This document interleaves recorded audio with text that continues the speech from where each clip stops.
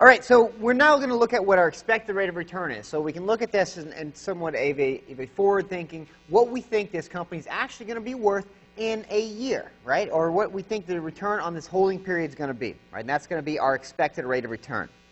Now, what we have here, just to find a few things, we have our sigma here, which is our summation, okay? And then we also have the probability of the event occurring, right? That's what this P is. The P is, is for probability. Okay, and then the R is our expected return in that state. Okay, so what we have here is that we're looking at this, we're saying, all right, how many states, how many possible events do we have? If we are looking at the rain, of, rain situation, basically n would be 2, okay, under the rain scenario. Okay, n would be 3 under the, uh, that stock scenario when we're looking at the, the bond situation. We can expand this out for however many events of any occurrences that we have. Okay? So what we're saying here is that let's say n is 3. Okay, that means that we're looking at from i is 1 through i is 3. Okay? And so we're plugging that into our summation equation. So we're saying this is going to be the probability of the return on uh, of, of event 1. We have the probability of event 1. That's multiplied by our required return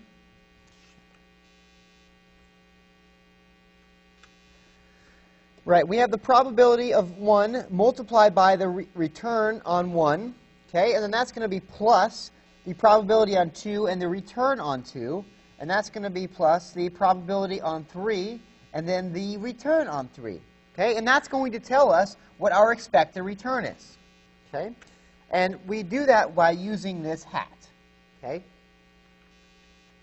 that's R hat. That hat is going to be denoting what our expected return is going to be. Okay?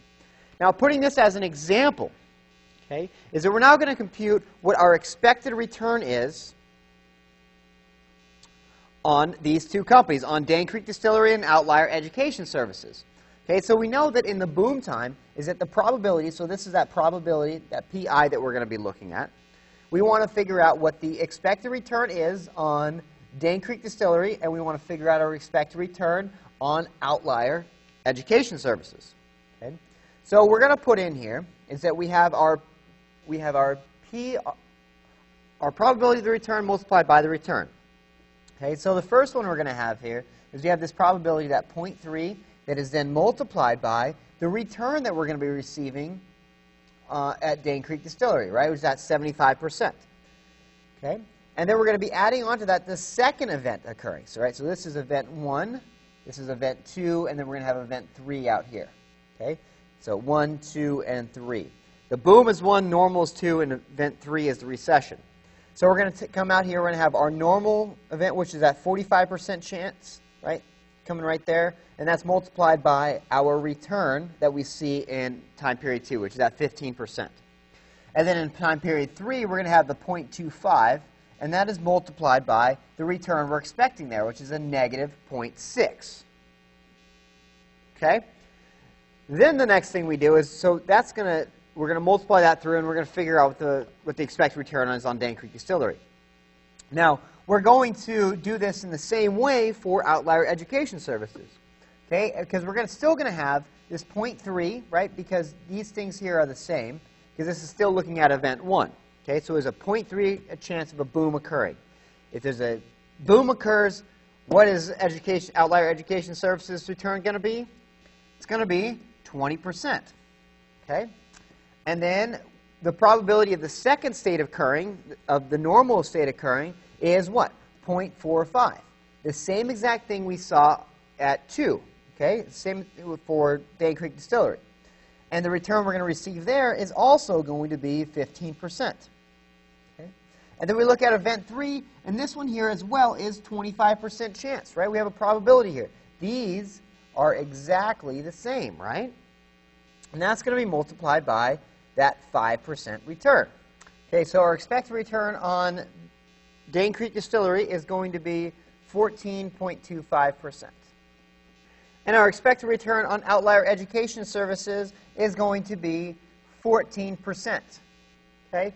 Now, when we look at this, we compare these. We're like, all right, so this is, if I hold this, this is what my, I expect my return is going to be. Right? I expect Dane Creek to return 14.25%. I expect, I expect the Outlier Education Services to, to return 14%. Now, I have to look at this, and I have to say which one of these, if these are the only two stocks I can buy, I have to look at them and say, which one of these am I going to buy? Okay? Now, if I'm looking at this, Dane Creek has, has a quarter percentage higher return than Outlier Education. So is my response, oh, I should buy Dane Creek? Well, maybe not, right? Because when we look at it, is that between these three here, is that we have, granted, a much higher likelihood of, of a return in a boom time, okay, but we could also lose a lot if we go into a recession. We can lose 60% of our value. That is a big negative versus outlier education services, which would be returning 5%, would still be positive. Okay? So when we look at this, we know that outlier education is going to be less risky.